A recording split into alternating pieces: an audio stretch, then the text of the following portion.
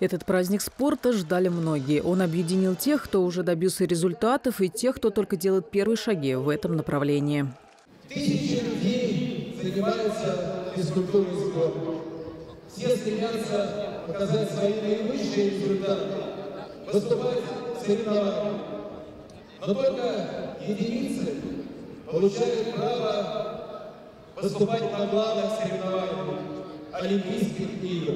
Пока в одной части стадиона Первомайский к этому стремятся юные дарования, в другой же ставит рекорд России. Ирина Черевань изначально планировала просто привести себя в хорошую форму.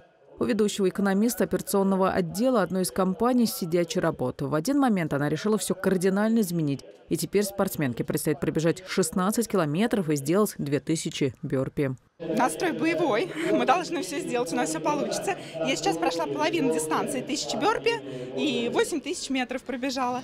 Вначале было все на адреналине, сейчас уже более размеренно, спокойно. Уже я вошла в ритм, и сейчас уже проще становится. На такой шаг спортсменку замотивировал ее тренер Андрей Шевченко и сам пятикратный лауреат книги рекордов России. Поэтому он, как никто другой, точно знает, что нужно для этого делать и как готовиться. Тренировались мы очень много. Э, по объему у него были просто колоссальные. Тренировки были практически каждый день. Единственное, у него был выходной. Э, тренировались по несколько раз на дню.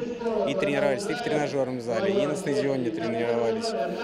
И проводили закаливающие процедуры, и дыхательные техники использовали. То есть был целый комплекс э, разных упражнений. В результате Ирина Черевань с задачей справилась. Теперь ее имя должны занести в книгу рекордов России.